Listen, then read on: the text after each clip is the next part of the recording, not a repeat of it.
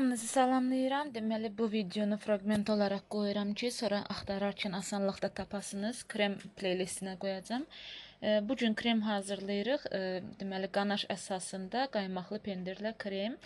Deməli məndə burada mascarponedir. Ona fikir verməyin. E, Sadəcə sifdə onunla yoxlamaq istədim. Sonra risk eləmədim və getdim qaymaqlı pendir aldım. E, qanaşı hazırlamaq qaydasını bilirsiniz. 200 qram şokoladı, ağ şokoladı qırırıq.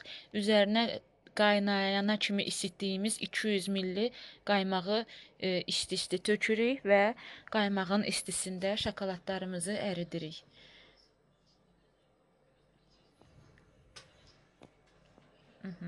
İndi bunu qarışdıracağıq. Baxın beləcənə tam əriyənə kimi.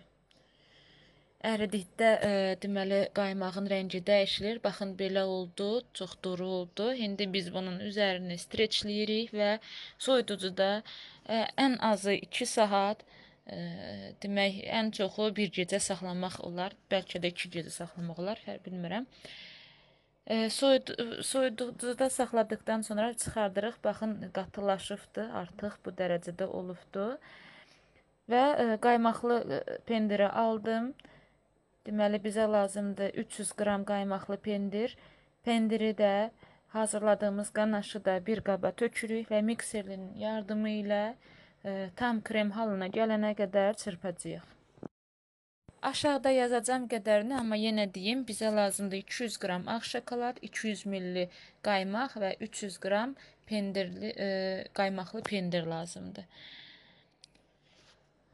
Baxın artıq kremimiz hazırdır formasını saxlayır. Bu cür kremi e, demək bu krem islatmaq e, kimi kremlərdəndir. Yəni bu cür kremi Napoleona, Medavikə, südlü qıza e, işlətmək olar. Düşünürəm ki, gülbəzəyi qoymaq olmaz. Buyurun sizlər də hazırlayın, bizimlə qalın hələlik.